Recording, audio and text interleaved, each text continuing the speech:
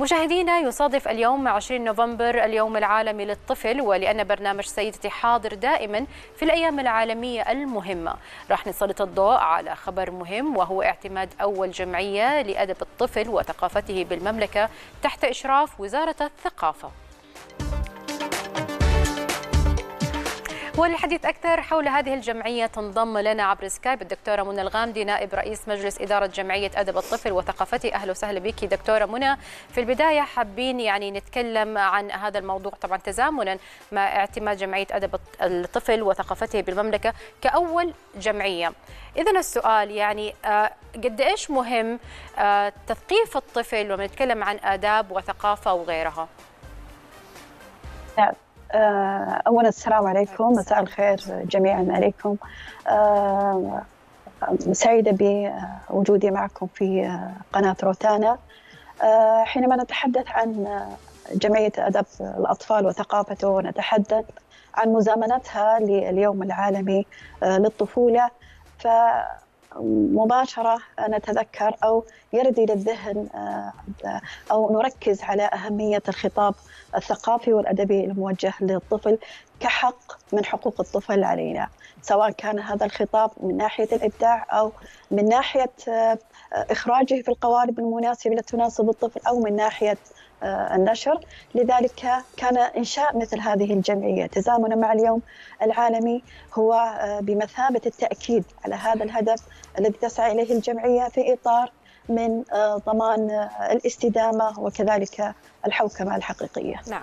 أيضا دكتورة دوركم اليوم كجمعية في تمكين المهتمين بأدب طبعا الطفل إيش الأشياء اللي راح تقدمونها وأي فئة اللي هي راح تكون مستهدفة في هذا الموضوع؟ طبعا كما ذكرتم سابقا بأن هذه الجمعية هي بمثابه بمثابة النهر الماد أو هي ذراع من اذرعه وزارة الثقافة، فراح يكون لها رؤية وراح يكون لها رسالة وأهداف استراتيجية متسقة مع أهداف الوزارة اللي كلنا طبعا نخضع فيها لمنظومة واحدة ضمن ضمن رؤية الطموحة 2030.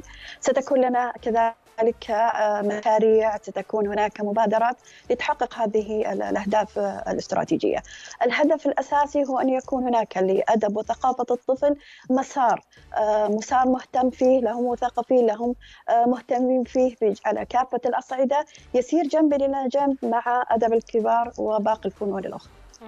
خلينا نتكلم عن جسر التواصل ما بين المهتمين المثقفين والأدباء وغيرهم وبين الجمعية يعني هل نقدر نقول أنه هذه الجمعية مهتمة بجميع الفئات ولا بالأدباء والمثقفين السعوديين فقط؟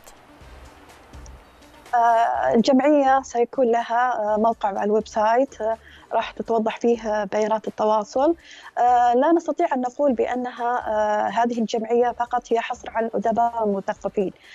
الآن أدب الطفل لم يعد كما في السابق يركز فقط على النص الأدبي أو الثقافي.